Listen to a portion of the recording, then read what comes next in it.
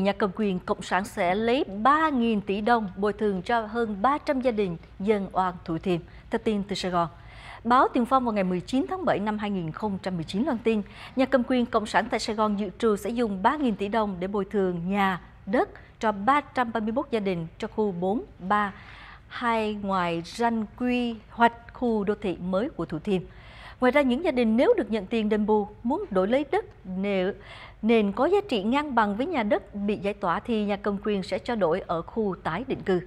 Ông Nguyễn Phước Hưng là Chủ tịch Ủy ban quận 2 cho biết, quận đã gửi thư mời và sẽ tiếp tất cả các gia đình trên trong vòng 4 ngày, từ ngày 19 đến ngày 23 tháng 7.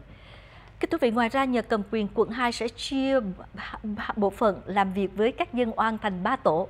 Mỗi tổ được bố trí một số phòng riêng để làm việc riêng với từng gia đình. Mục đích theo ông Hưng là để tập hợp được hết ý kiến của người dân nhằm hoàn chỉnh chính sách và tổ chức thực hiện. Sau khi thông tin này được dư luận biết, nhiều người cho rằng đây chính là mưu đồ chia để trị của nhà cầm quyền quận 2. Họ muốn xé lẻ từng người dân để dễ bề dọa dẫm, bởi không ai còn tin vào sự tử tế vốn không có của những người quan chức Cộng sản Việt Nam, kính thưa quý vị.